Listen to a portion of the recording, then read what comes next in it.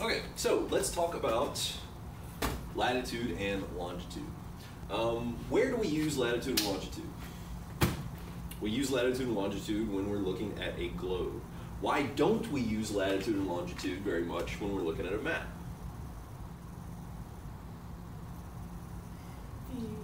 Because, um, well, first off, you got hills and mountains maps. Got hills and mountains on maps. Does that have anything to do with latitude and longitude? No. No, not at all. The reason that we don't use latitude and longitude too often is because of a scale problem. Mm-hmm. This is called a seven and a half minute series topographic map, as is shown up in the top.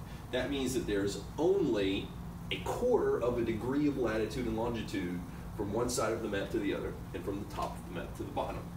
So, if we want to find somewhere like your house, for example, or maybe this building, then we would want a grid system that works on a map this size.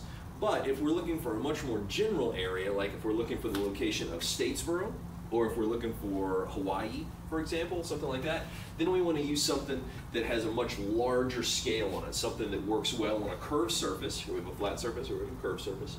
So something that works well on a curved surface and something that has a much wider measurement, latitude and longitude. So latitude and longitude, you are probably familiar with. Um, if you're not familiar with it, you've at least heard the words. So this um, globe has latitude and longitudinal lines on it. So which is which? Lucy, which one of these is latitude? The horizontal ones or the vertical ones? Horizontal. Horizontal is right. Which means that the vertical ones are longitude. Right?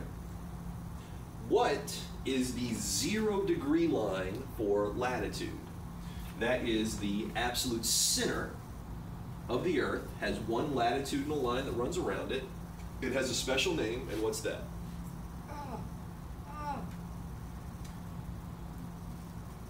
Spit it out.